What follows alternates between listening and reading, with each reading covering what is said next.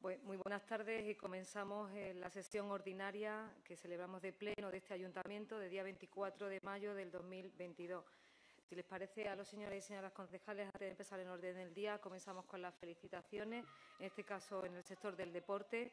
Para la natación, el viernes Raúl Camino participó en el Campeonato de España nadando el 5.000 cross en el lago de Bañolas, en Gerona, quedando tercero de su categoría.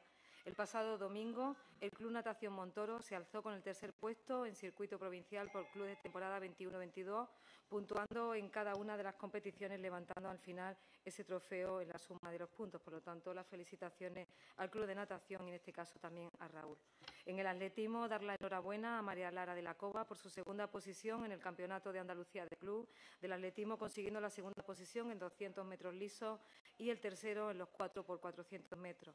Y en Muay felicitar al Club Muay Omega Montoro, que realizó un gran trabajo en la velada de San Warrior celebrada en Montoro, consiguiendo oro para nuestros tres participantes, Javier, Paloma y Jesús, y un cinturón de campeonato ProAm para Paloma. Por lo tanto, la felicitación a la natación, al atletismo y al Muay montoreño, si os parece a los señores y señoras concejales. Y si os parece, pues pasamos ya al orden del día, que sería el sorteo de la composición de las mesas electorales para el sorteo de las próximas elecciones autonómicas del 19 de junio del 2022. Pues si os parece, comenzamos. Según el artículo 26, la formación de las mesas compete a los ayuntamientos bajo la supervisión de las juntas electorales de la zona. Por lo tanto, vamos también a comenzarlo y se aprueba por, en este caso, por el Pleno del Ayuntamiento.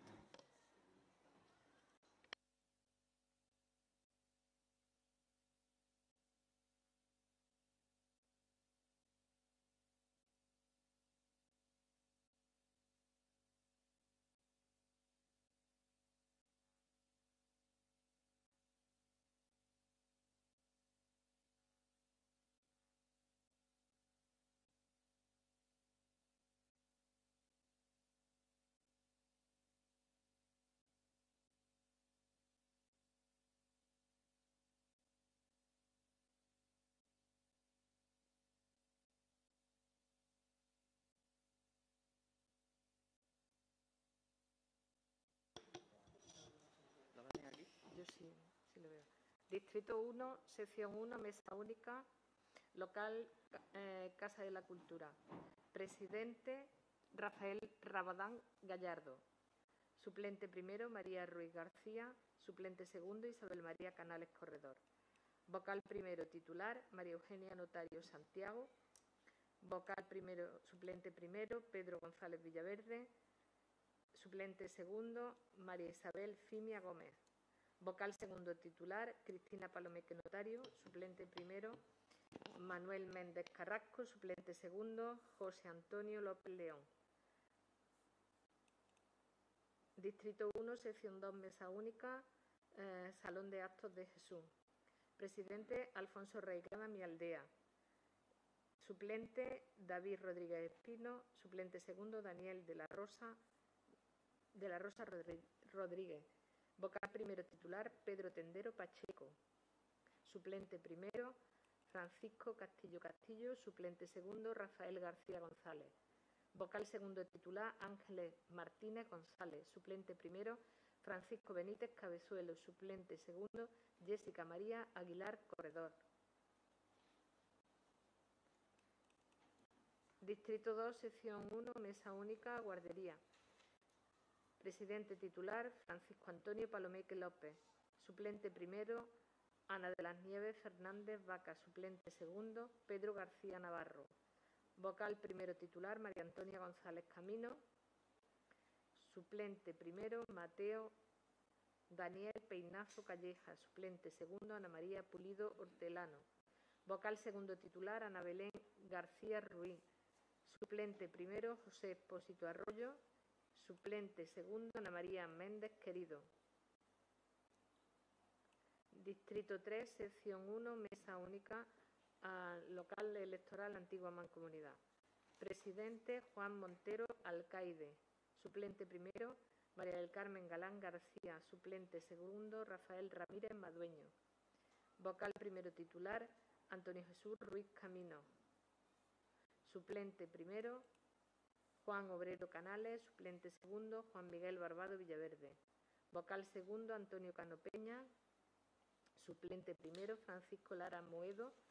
Suplente segundo, Rosario Aranda Sánchez.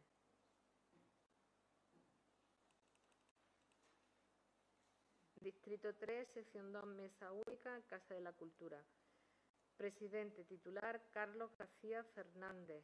Suplente primero, Manuela Notario Canales. Suplente segundo, Miguel Ángel Yepes Higuera.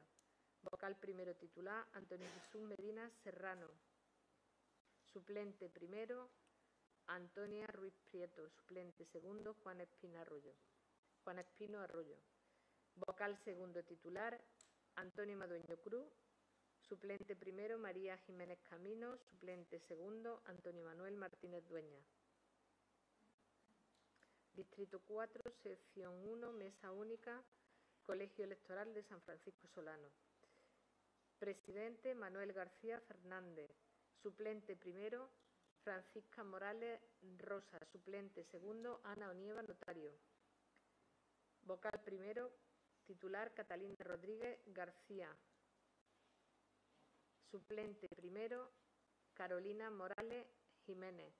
Suplente segundo, José Ruiz Fernández. Vocal segundo titular, Cristina Pérez Baeza. Suplente primero, Pedro Muñoz Roldán. Suplente segundo, Ana María Cano Benítez. Distrito 4, sección 2, mesa A, Colegio Electoral Épora. Presidente Ángel González Carpintero. Suplente primero, María de los Ángeles Ajer Ramos. Suplente segundo, María Aljama González. Vocal primero titular, Francisco Delgado Cepa. Suplente primero, Francisca María Espino Moreno. Suplente segundo, José María Bejerano Ortiz. Vocal segundo titular, Ángela González Coronado. Suplente primero, María José Díaz Ruano. Suplente segundo, Diego Luis Cepa Ramos. Distrito 4, sección 2, Mesa B, Colegio Épora. Presidente, Francisca Moreno Cerezo. Suplente primero, Francisca Ortiz Leal. Suplente segundo, María Teresa de la Rosa Castro. Vocal primero titular, Lucía Marchal Lara. Suplente primero, Sandra Zamora de la Cruz. Suplente segundo, María Teresa Madrid Pascual. Vocal segundo, titular Gustavo Marchal Lara. ¿Eh? No me da cuenta. Suplente primero, Manuela Sánchez Serrano. Suplente segundo, Antonio Manuel Navarro Lara.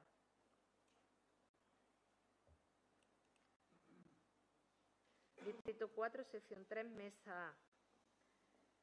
Casa de la Juventud. Presidente titular, Ana Calleja Velasco. Suplente primero, Daniel Joven Cerda. O Cerda. Suplente segundo, Jesús Galán Mazuela. Vocal primero titular, José Cubero Moreno. Suplente primero, Raquel Cabrera Ortega. Suplente segundo, Ramón Fernández Terrín. Vocal segundo titular, María de los Ángeles Flores Lara. Suplente primero, María Mercedes Cosano Jurado. Suplente segundo, Luis Enrique Pérez. Luis Enrique Pérez. Luis Enrique Pérez. Anda. Presidente, eh, Distrito 4, sección 3, Mesa B, Casa de la Juventud. Presidente, titular, Isabel Madueño Lara. Suplente primero, Juan Rodríguez, Rodríguez. Suplente segundo, María del Carmen Poblete Criado. Vocal primero titular, Irene Romero Rodríguez. Suplente primero, Francisco Trillo Gómez.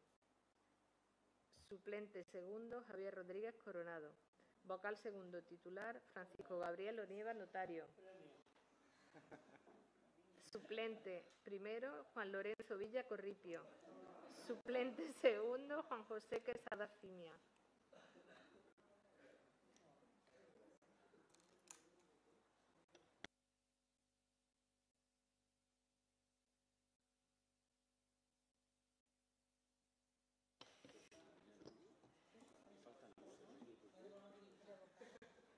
Sí, porque no se han encendido. Las, de, las laterales. Las laterales faltan. Damos por concluido la elección de mesa. María José. Bueno, pues ahí está la composición y como todos los procesos electorales ya se llamarán a todos los titulares y suplentes y se le dará la información complementaria para las próximas elecciones para formar parte de las mesas y a partir de ahí también pues quien no pueda estar por alguna causa que la secretaria indicará pues también se comentará. Si os parece, pasamos al siguiente punto, que es la aprobación del acta de la sesión anterior. Y antes de que presenten alguna aportación o modificación, por nuestra parte, modificar el, donde dice dar cuenta de las, resoluciones de, las resoluciones del mes de abril, debe decir resoluciones del mes de marzo. Y a partir de ahí, pues vosotros también, si tenéis alguna aportación. Si no, pues se aprueba con esa modificación puntual. El, cuarto, el tercero perdón, sería la aprobación inicial de la innovación pormenorizada del Plan General de Ordenación Urbana del Montoro en el ámbito del Plan Especial del Casco Histórico para modificar el artículo 20.11 y el 50 de las ordenanzas y un nuevo ámbito A11 y establecimiento de la A17 relativo al uso de los aparcamientos. Se redacta esta innovación con objeto de realizar las modificaciones necesarias en la normativa vigente para flexibilizar la implantación del uso de aparcamientos en el ámbito del Plan Especial del Conjunto Histórico, a fin de dar respuesta a todas las necesidades de aparcamiento que están demandando la población, nuestros vecinos, y mejorar la movilidad urbana de acuerdo al Plan de Movilidad Urbana Sostenible de Montoro.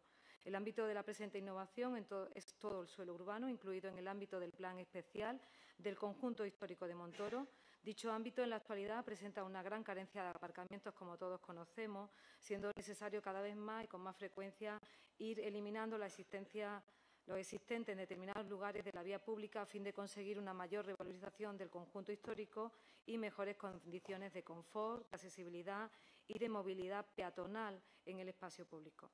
Nuestros vecinos vienen demandando aparcamientos de residentes y la carencia de este es una de las causas de abandono del casco histórico, según nuestra opinión, por lo que la población más joven busca lugares de residencia donde el aparcamiento sea posible y no sea necesario dejar el coche estacionado de forma irregular.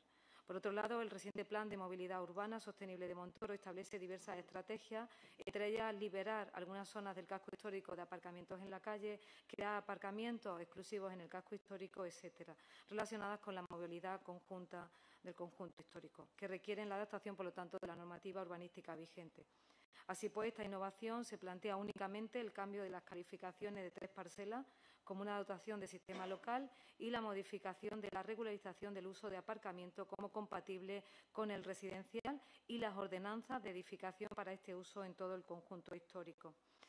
En, definitiva, se plantea una serie de modificaciones en la regulación actual. En primero, eliminar la limitación de tres vehículos en las cocheras unifamiliares. Segundo, permitir el aparcamiento en, viviendas plurifamiliares.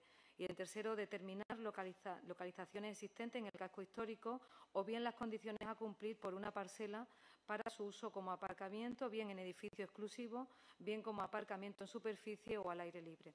Se plantean en este caso dos casos o implantación del uso de aparcamientos en dos localizaciones concretas. En primer lugar, en el Plaza del Museo, la A11, se propone ampliar el ámbito de esta actuación aislada prevista en el Plan Especial del Casco Histórico para su uso como aparcamiento al aire libre, incorporando a la plaza, la que está detrás de la residencia, los terrenos de los, de, los patios del antiguo Colegio del Rosario, hoy sin uso, con lo que se amplía y se comunica el conocido como aparcamiento al aire libre de la residencia con calle Mártires y con calle Salazar.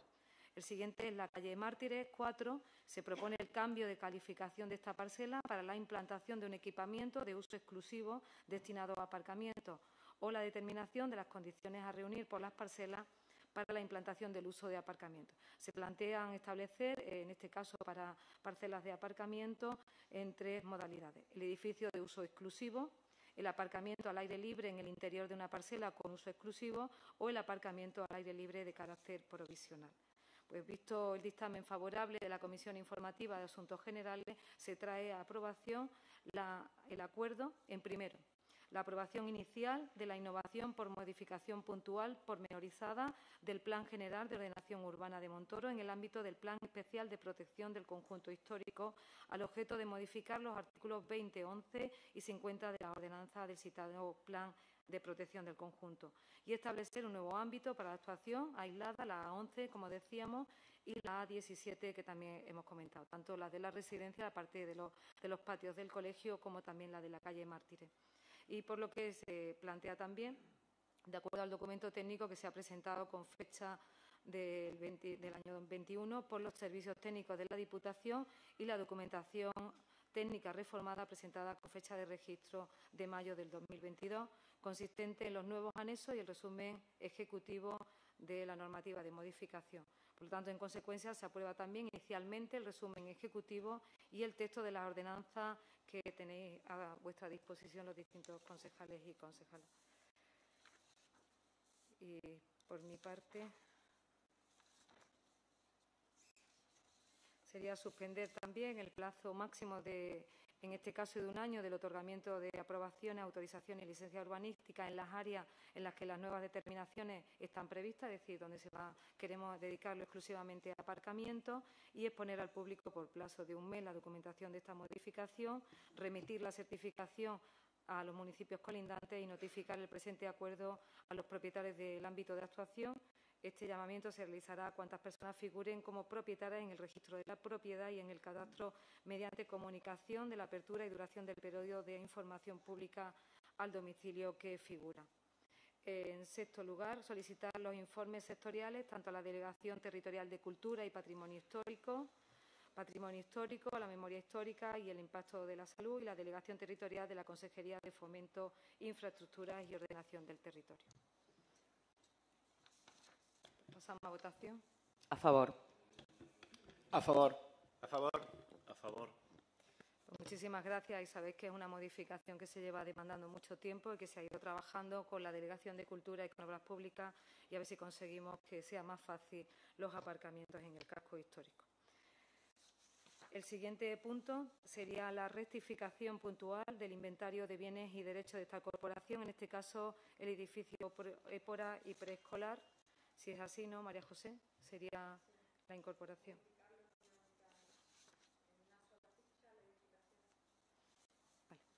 Conocéis perfectamente la modificación y sería bueno, la delimitación del colegio Epora y su edificación. A favor. A favor. A favor. A favor. Pues uh, se incorpora al inventario en las características correctas el colegio Epora y de preescolar. El siguiente punto sería el, acuerdo de incremento de gratificaciones a la Policía Local de servicios extraordinarios a realizar el resto del ejercicio 2020. Se trae a aprobación el acuerdo de incrementar el crédito destinado a gratificaciones a imputar con cargo a la aplicación presupuestaria eh, 1320 15.100 de la Policía Local de Gratificaciones por importe de 14.000 euros para hacer frente a los servicios extraordinarios a realizar durante los meses de mayo y hasta diciembre del 2022 y remitir el presente acuerdo para su publicación en el Boletín Oficial de la Provincia de Córdoba.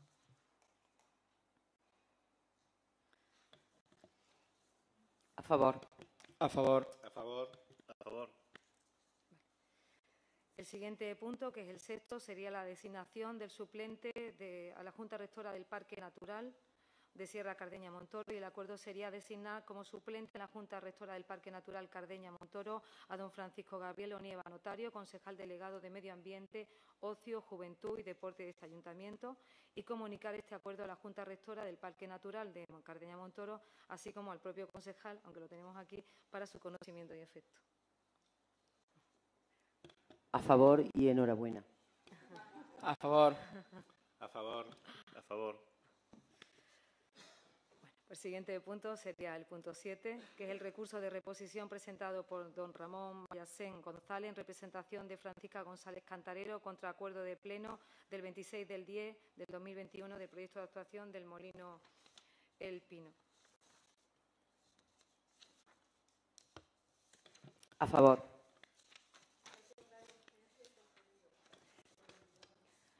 A favor de la urgencia y a favor del punto. A favor de ambos. A favor de ambos. A favor de ambos. Por lo tanto, se admite en tiempo y forma el recurso de reposición, no se admiten las alegaciones formuladas por, por extemporáneas y se notifica a don Ramón Mayasen González y a doña Jacinta Exposito Amo tanto las alegaciones como el recurso, como la aprobación de la, del recurso de reposición. El siguiente punto, el 8, sería dar cuenta de las resoluciones de alcaldía número 743-2022 de delegación de matrimonio civil, en este caso de a María Dolores Amo Camino en la celebración de Luis Acenjo Planella y de doña Sonia Ramírez López. Como es dar cuenta, os dais por notificado, así como la resolución, en este caso sí, del mes de abril, que irían desde la 550 a la 701, cuya relación le fue remitida el 19 de mayo del 2022 y conoce como concejales y concejalas. Y a partir de aquí hay que votar la, urgencia de los siguientes puntos. En primer lugar, sería la designación de días no lectivos del curso escolar 2022-2023 y de las fiestas locales del 2023. El acuerdo sería designar como días no lectivos en el curso escolar 2022-2023 los días 31 de octubre del 2022 y 2 de mayo del 2023. Y como fiestas locales serían en concreto los patronos correspondientes, en este caso sería San Bartolomé, no María José, 24 de agosto, y 7, y 7, y 7 de, de octubre. San Bartolomé y la Virgen del Rosario. Si os parece. A favor. La fiesta, Y la urgencia.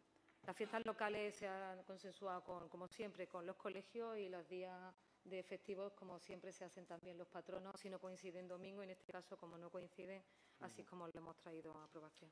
Pues a favor de la urgencia y a favor del punto. A favor de ambos. A favor de ambos. A favor de ambos.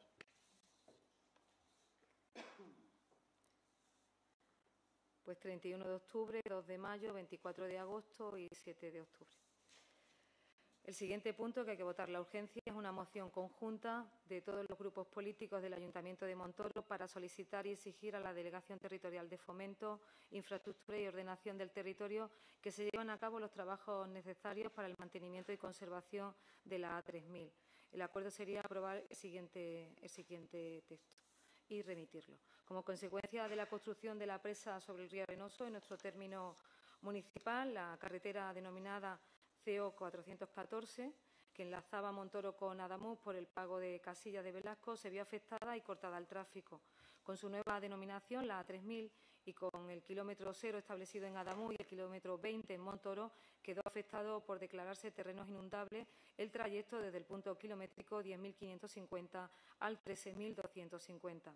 Desde este momento, el mantenimiento de los tramos que permanecen en circulación, el que discurre entre Montoro y el Camino Municipal de Santa Brígida, así como el que va desde el Camino Municipal denominado de Algallarín a Arenoso, que comunica con Adamú, se han visto abandonados de tal forma que la circulación por los mismos se está convirtiendo en peligrosa. Numerosos son los vecinos que transmiten por ambos tramos, concretamente el primero de ellos comunica con varios caminos municipales y da acceso a numerosas viviendas y explotaciones olivareras. Dado el mal estado contrastado de estas vías, los vecinos se están movilizando de cara a obtener una respuesta favorable a sus demandas que pasan por el arreglo del firme y para lo cual solicitan el apoyo de esta Administración local. En este sentido, recientemente, yo misma como alcaldesa, y llevamos ya un tiempo de esta localidad, ha firmado escritos dirigidos a la Delegación Territorial de Fomento, Infraestructura y Ordenación del Territorio, en el que se reitera la actuación de obras y reparación de emergencia para garantizar la seguridad de la vía A3000 debido a los desperfectos que se observan en el firme. En dicho escrito de, alcaldía se han adjuntado informes técnicos y fotografías. Igualmente, el Ayuntamiento de Montoro viene comunicando periódicamente las deficiencias en iluminación y desperfectos que presenta el puente y carretera A3000, que también es competencia de la Junta de Andalucía, a su paso por Montoro. Es lo que conocemos todos como el paseo de, ¿no? del colesterol, de la más alegre, y por lo tanto también lo llevamos demandando a su paso por Montoro, dando traslado de la misma a dicha delegación territorial para que proceda a su subsanación ante la peligrosidad para los vehículos viandantes al tratarse de un tramo muy utilizado y concurrido por los ciudadanos de esta localidad, como bien conocemos. La situación actual es lamentable y ante los razonables demandas de nuestros vecinos, este ayuntamiento en pleno acuerda solicitar y exigir a la Delegación Territorial de Fomento, Infraestructura y Ordenación del Territorio que se lleven a cabo los trabajos necesarios para el mantenimiento de la conservación de la A3000 en cuanto a lo expresado en el cuerpo del acuerdo. Es decir, que además de los escritos de alcaldía nos incorporemos también como propia corporación municipal a dichas demandas. Creo que pasamos a, como es una aprobación conjunta, pues se le habrá traslado a la propia delegación y esperemos que se arregle eh, pronto. Y a partir de aquí comenzamos la actividad de control. La urgencia sí, la moción es conjunta, por lo tanto, todo se aprueba por unanimidad. Y por, tanto, sí que pasamos ya a la actividad de control, ruegos y preguntas. Si tenéis ruegos o alguna pregunta, Pepi, Partido Popular. Eh, bueno, sé mm, que en el fin de semana que habéis estado por la zona de Miguel Romero Esteo, Fran Blas Infante, y he visto que se han pintado los muros que dan a la escalera.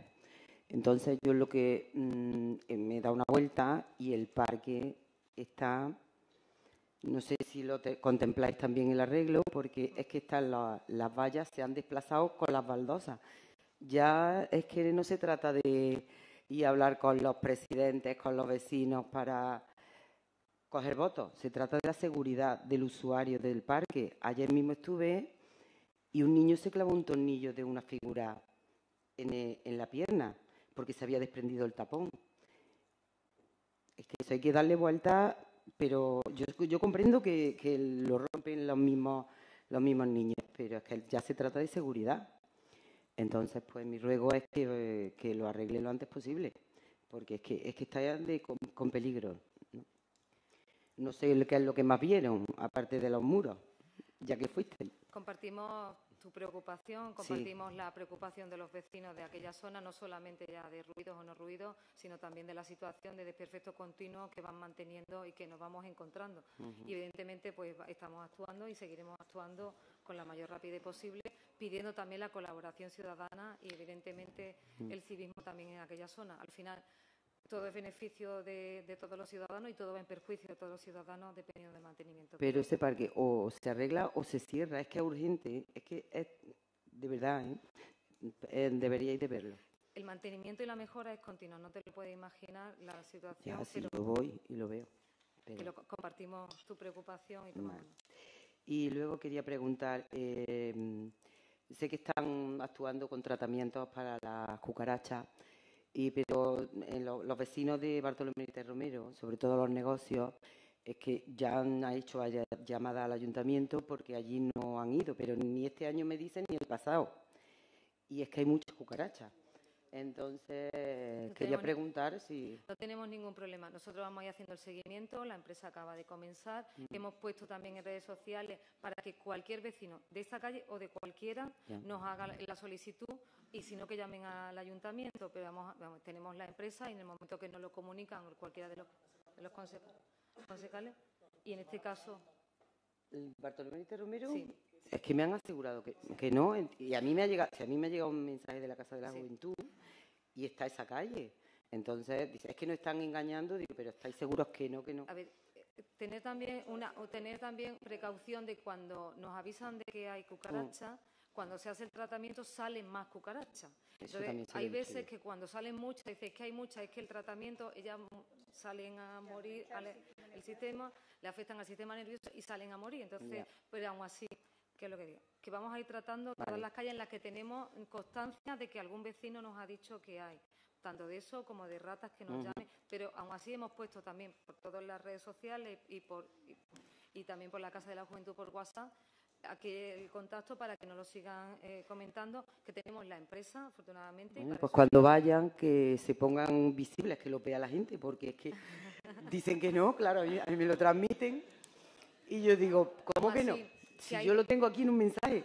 Sí, sí, sí. Bueno, pues que le pidan a la empresa que se hagan visibles. Que no, se... Les pediremos una fotografía, pero aún así, si hay que hacer varios tratamientos, que tampoco tenemos ningún problema. Hay algunas calles que hemos tenido que hacer mucho, algún más tratamiento doble, tenemos la empresa y cada vez que nos lo solicite y la empresa considere que el tiempo ha pasado desde el primer tratamiento, pues seguiremos haciéndolo sin ningún problema. Vale, ya está, ya terminado.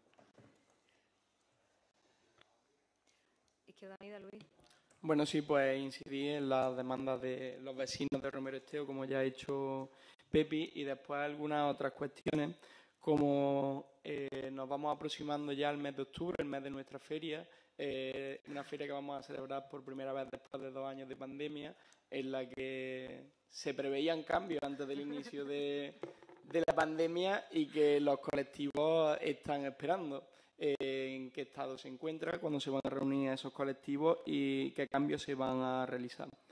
Por otra parte, eh, preguntar eh, para cuándo saldrá la convocatoria de subvenciones a asociaciones y empresas y eh, informé de la existencia de rata en calle Minas si se ha procedido algún tratamiento. Sobre las convocatorias de subvenciones a asociaciones y colectivos, yo ya he firmado la resolución para ponerla en marcha. Eh, nuestro objetivo es hacerlo en mayo. Miro al interventor porque y a la secretaria, pero estamos ya que ya se ha firmado la propuesta y nuestra intención es sacarla en este mismo mes de mayo, que siempre es la fecha con lo cual estamos ya. Yo firmé, me parece, hace la semana pasada, firmé la propuesta de resolución de ambas convocatorias para que salgan como siempre, antes de final de año. Sobre los roedores en la calle Mina. El miércoles pasado, Luis, tuvimos una reunión con la, con la empresa y se le pasó el listado tanto de las zonas que nosotros teníamos constancia de cucarachas que habían sido anteriormente de puntos calientes y entre ellas iba Bartolomé Benítez Romero, Miguel Romero Esteo, Blas Infante, Virgen de Gracia, todas las que teníamos constancia de que teníamos avisos incidencias de épocas anteriores se le pasaron y se le puso en antecedentes y también se le pasó el aviso de, de Calle Mina.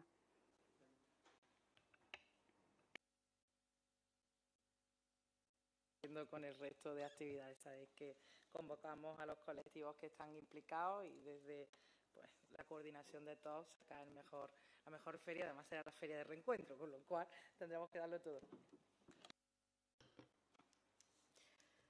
Por Udín.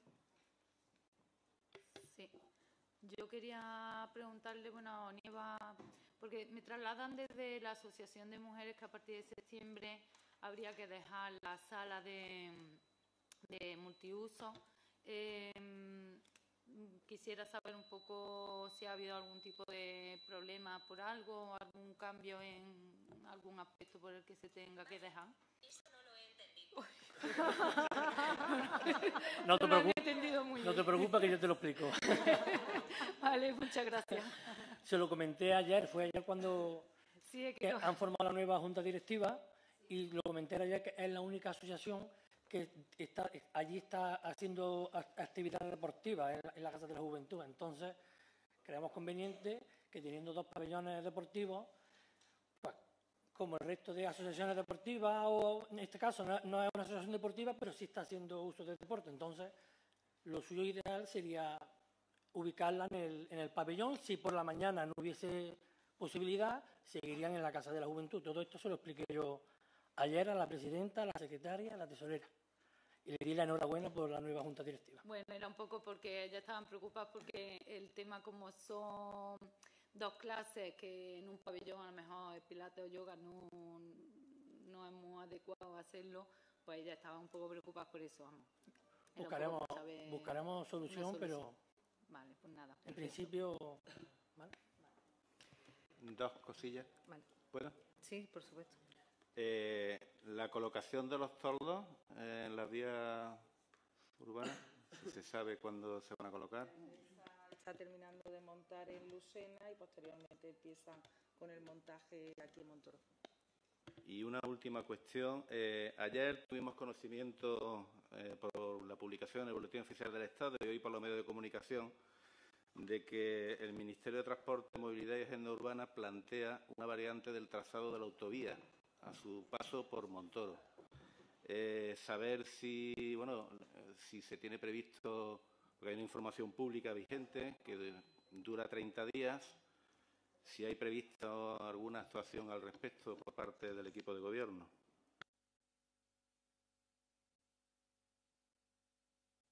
Todo el anuncio está en el tablón de información pública para que lo conozcáis. Vamos, todos los ciudadanos y creo que bueno, son buenas inversiones. Además de eso, si me lo permitís, es verdad que el, proyecto está en exposición pública, sabéis que ahora mismo en estudio, ¿no? Eh, que tenemos 30 días para presentar alegaciones en caso de, que existiesen. Es un proyecto que además afecta no solamente al municipio de Montoro, sino que existen otros municipios de la provincia que, también pudieran estar interesados en presentar alegaciones a ese proyecto, por ejemplo, Villafranca o La Carlota. Y esta misma mañana yo he estado hablando con la subdelegación del Gobierno y lo que hemos cerrado es que sea la Diputación, en este caso, eh, como representante ¿no? del resto de municipios y se ha mm, realizado, se ha solicitado por parte de la Diputación un encuentro con el director general de carretera de tal forma que nos dé una mayor ampliación de información para que en su caso sea la Diputación y los ayuntamientos los que presentásemos las alegaciones si las hubiese, que no lo sabemos, ahora mismo lo que queremos conocer en profundidad el proyecto, lo que supondría el trazado, ¿no? porque parece ser que la noticia habla de un posible cambio de trazado en algunos de los puntos. Yo creo que ahora mismo lo importante es tener toda la información para a partir de ahí poder eh, estudiar el tema.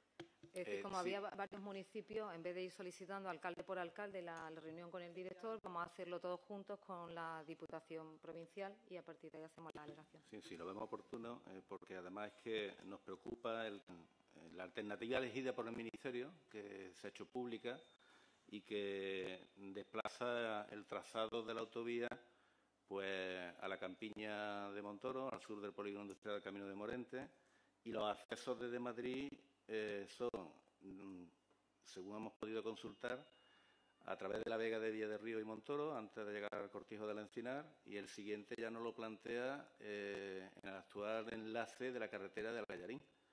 Esos son los accesos que se plantean en esa alternativa escogida por el Ministerio desde Madrid.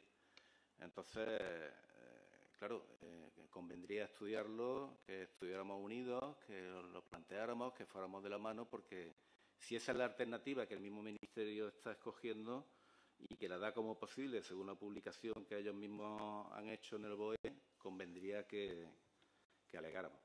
¿eh? Bueno, hay que recordar que, que esa propuesta ya se hizo en el año 92. Seguramente algunos de los que estamos aquí lo, recordamos, ¿no? Y en su día fue este ayuntamiento quien solicitó al Gobierno de España que ese trazado no se llevara a ejecución porque evidentemente afectaba a muchos negocios que están implantados a la entrada de la autovía. Además, yo, por lo menos personalmente, y creo que lo compartimos todo el grupo municipal del Partido Socialista, no estaríamos de acuerdo en un trazado de esa tipología porque sería separarnos de la autovía, que ha sido siempre el enlace con el resto de, España, ¿no? Y ha sido siempre el punto que nos ha permitido ser un municipio de referencia en muchos aspectos pero creo que, como decía la alcaldesa, ¿no? Eh, sería en un principio mantener la, la reunión con el director general de carretera. Además, según la información que me han trasladado, ha sido el propio director general de carretera, el ingeniero que ha trabajado en ese proyecto, que sean ellos los que nos trasladen la información a todos los municipios y de una forma conjunta, como entiendo tenemos que hacer las cosas y con la representación de la Diputación, ¿no? al estar más municipios afectados, pues tener la posibilidad, en su caso, si no estuviéramos de acuerdo, de plantear esas alegaciones a, ahora mismo estamos hablando evidentemente de una exposición pública, todos sabemos el recorrido que eso tiene y los años que, vienen por delante, pero es importante que desde el principio estemos al día de, la situación y planteemos cuáles son las posibles consecuencias de cara a nuestro municipio. Como sabéis, se ha publicado hoy y hoy se está pidiendo la reunión, con lo cual es importante, evidentemente, para todos. Si hay algún ruego, alguna pregunta más, pues muchísimas gracias a todos ustedes.